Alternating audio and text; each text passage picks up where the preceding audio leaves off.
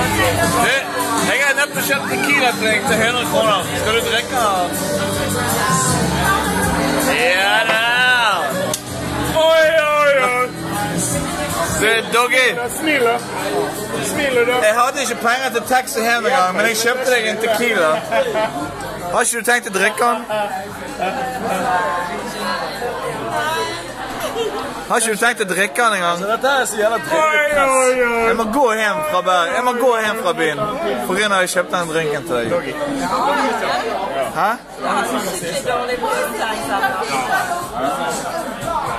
Jeg har ingen penger igjen. Jeg har ingen penger igjen. Oi, oi, oi, oi. Oi, oi, oi, oi, oi, oi, oi, oi. Oi, Jeg bare sier en ting. Roskilde, fuck! Det kom du i vilt, man. Ah, det er så gøy. Da gikk Jostein, Marianne.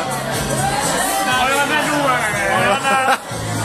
Roskilde er en bitch som fucker deg opp. Marianne.